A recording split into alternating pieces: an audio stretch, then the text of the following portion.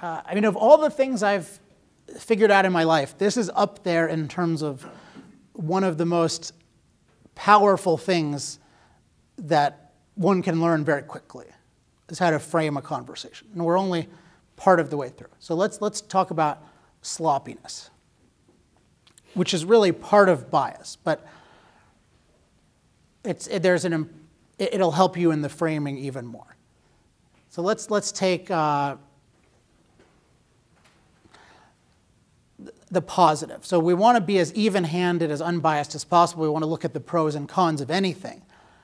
And part of that is we need to look at we need to look precisely at how large the pros are and how large the cons are. So imagine you're, you're making a big decision involving your child, like whether and how to vaccinate a child for a certain kind of uh, disease. And this is a big kind of decision one thing you have to do is you absolutely have to be willing to look at both benefits and side effects of vaccination. Because if you're not willing to look at both, you can't make an informed decision. The other thing you have to do, it's not enough to just say, oh, it has some benefits, it has some side effects, how do I choose? You need to know the magnitude of the benefits or get the best idea you can. And so, for instance, if it's a life saving vaccine with minimal side effects, that's different than a vaccine that didn't do much work that had major side effects. And my point is not any particular stance on the issue uh, overall or any particular one. It's just this is how you have to think about an important decision to look at the extent of the benefits and the extent of the side effects.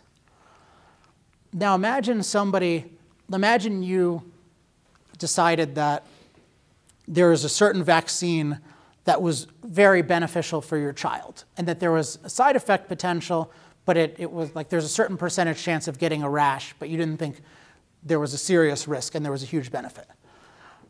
And then, but somebody else was biased against vaccines and they didn't look at all at the positives and all they looked for was negative. So then they would say, Don't you know that vaccines have side effects? What are you, a vaccine side effect denier? How can you support vaccines. Don't you know that 97% of doctors agree that vaccine side effects are real? I don't know if you recognize that language at all, but this is the language that is used against fossil fuels. So with fossil fuels, you have to look at benefits and you have to look at side effects. And people sometimes say climate change is real, which in effect means there is some warming side effect of fossil fuels, and they act like that means fossil fuels are bad. But it depends.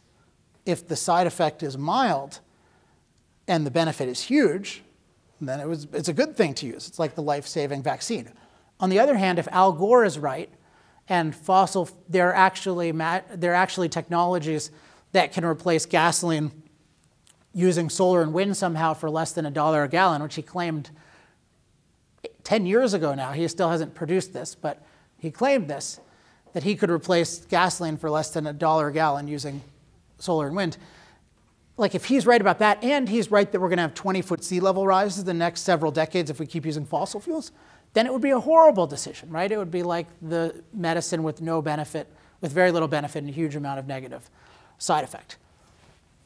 Now, the problem in the discussion is that the bias goes along with sloppiness. So it's not just that people make up negative things about fossil fuels, or though I think they do and that they ignore positive things about, about fossil fuels, though I think they do. It's that they exaggerate hugely and they're very sloppy and vague about it. So they'll just say things like, oh, climate change is real, but they won't be clear whether they mean sea level rises of 20 feet in a couple decades or two feet in 100 years, which two feet in 100 years would be much, uh, I don't think would be a problem. We've experienced that many times in, in human history. So there's no way to make a good decision if we're sloppy about things. We need to be precise. Now, in discussions, people are sloppy as much or more than they're biased. They'll say all kinds of things. Like, one thing is just, you hear about solar and wind, they'll just say, oh, yeah, well, uh, solar and wind uh, are, you know, solar and wind work really well, or something like that. Or they'll say, like, uh, you know, these technologies work. That's probably the sloppiest thing. This is like we have alternatives and they work. Okay, but what does that mean? Does that mean that they work for 7 billion people, for 7 million people? Uh, does that mean that they can fly a plane or power a diesel tractor? And in the case of those last two things, like absolutely not. There's nothing resembling that. So it's, it's really vague to just say, oh yeah, I, let's get rid of fossil fuels because climate change is real and we have workable alternatives. Right? That's, it's so vague and sloppy as to be plausible, but it's, it's just nonsense. It would be like saying, well, you know, let's get rid of vac vaccines and antibiotics because they have side effects and we have alternatives that can cure diseases. Okay, but can they cure all of those diseases? No, they can't. That's why tons of people died before uh, we had them. So part of the premise is we can be biased against fossil fuels and nuclear and hydro. That's part of it. Another part of that is it's also, as long as we're attacking them or supporting solar and wind, we can be as sloppy as we want. We don't have to be at all precise. Now, again, this is a fundamental thing because people are, now remember the, the example I gave about the hottest year ever? Like it's the hottest year ever, but it's really like more like the fattest year ever if you gain a hundredth of a pound. Like it's just not that much warming. The reason people will say things like that is because they're not precise. There's not a commitment to knowing how significant the warming is.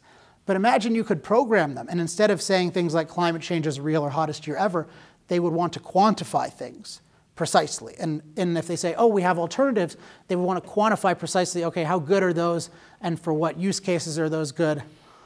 I mean, one, one that is insane that people get away with is they talk about capacity. You know, this idea of capacity of solar and capacity of wind. Like they rate they put a nameplate on something that says basically this has a capacity of 100 or let's say 10 megawatts if the sun shone 24 hours a day.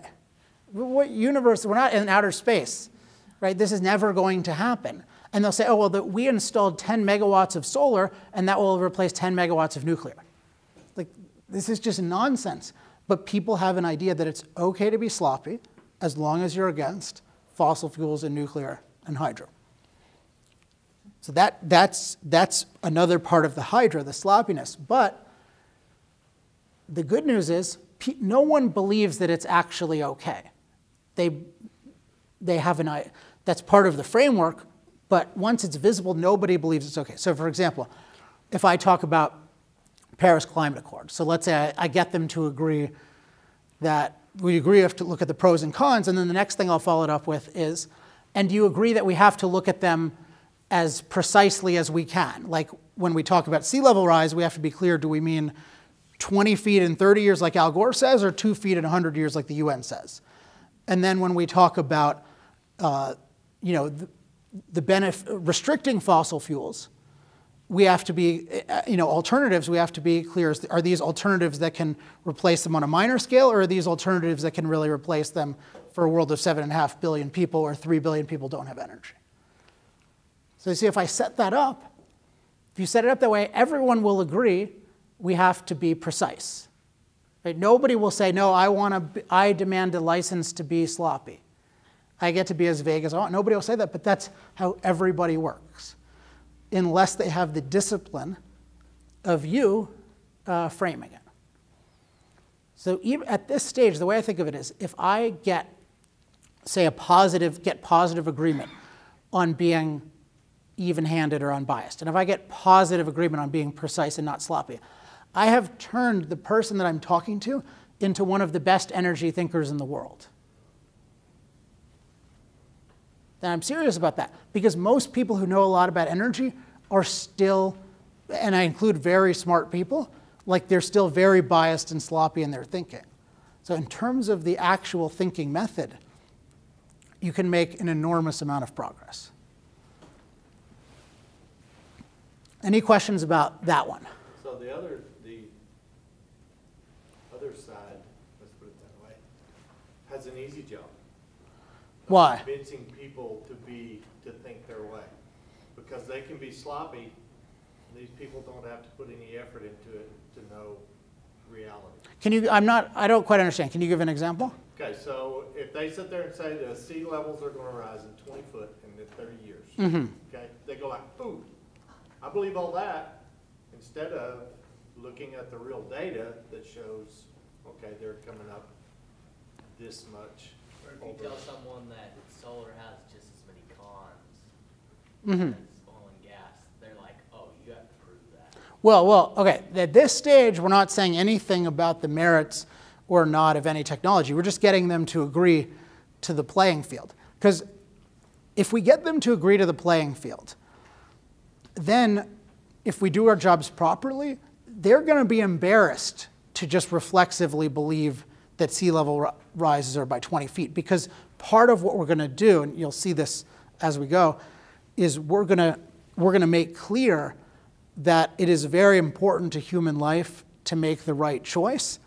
And if you exaggerate the side effects of something, then and restrict that thing, then you're depriving people of the benefit. So what, what's going to happen is they're going to think about it in terms of, oh, if I exaggerate sea level rise and restrict fossil fuels and make it harder for billions of people to get energy, then I'm depriving people of refrigeration and food and clothing and shelter. So it's just as emotional an issue. The, the reason why it seems okay to talk about 20 foot sea level rises is because the bias. People think the only thing to think about with fossil fuels is how bad are they. So if you're only thinking about how bad are they, then who cares if you exaggerate? Like imagine that you find out tomorrow, there's a news story tomorrow, heroin is 10% less dangerous than we believed. Like who cares, right? Because you kind of, uh, you know, you know that it's, it's not good for human life. And so fossil fuel people say, oh, well, sea level rises aren't as bad as you think, but nobody's looking at the positive, then nobody cares. But if they realize, oh, there's a huge positive, which means there's a negative to restricting it, then you have to think about both. The same thing with the vaccines and the side effects. If, if people are just talking about side effects and they exaggerate them, and nobody's focusing on the benefits, then it just seems like, oh, well, he's just a well intentioned person. But if they're exaggerating the side effects and depriving kids of vaccines that they need, then it's, oh, this is a crank who's killing kids. So that's how I want people to think of Al Gore a crank who's killing kids.